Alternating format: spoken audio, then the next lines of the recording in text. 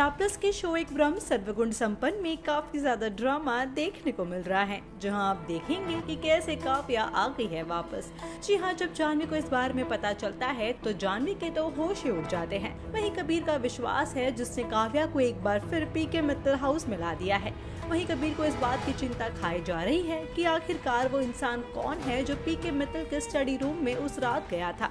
और कबीर काव्या से बात करते हुए बताता है कि कैसे ध्रुव भैया की शादी के पहले वो लोग काफ़ी ज़्यादा खुश रहते थे और उनके पापा का बिहेवियर भी काफ़ी ज़्यादा अच्छा हुआ करता था।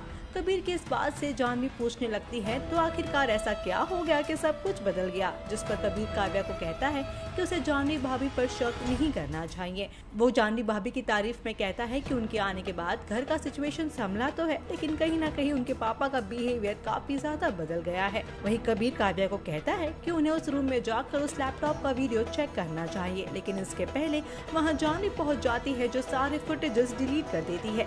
पीके मित्तल को पता चल जाता है कि काव्या और कबीर गए थे उनके कमरे में। वहीं शो के आने वाले एपिसोड में आप देखेंगे कि काव्या के हाथ लग गई है पूजा शर्मा, यानी कि जानवी की तस्वीर। वेल, काव्या इस तस्वीर को देखने के बाद काफ़ी ज़्यादा सोच में पड़ जाती है।